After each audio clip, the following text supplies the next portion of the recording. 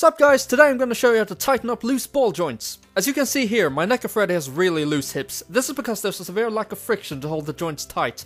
What we're aiming for here is to build up some friction so all the joints sit tighter, and to do this, all you need is some sewing thread. I use black since Freddy's pants are black, but you can use whatever. Like I said, we want to increase the friction, so start by tightly wrapping around the inner bit of the ball joint where the pin connects to the hip. Make sure the thread really wraps around the inner bit. Give it a pull after every pass to make sure.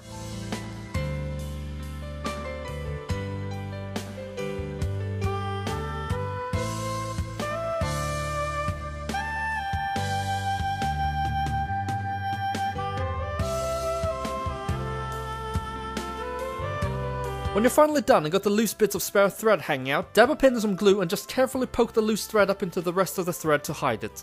And there we go, nice and tight. If you have any questions, just leave a comment.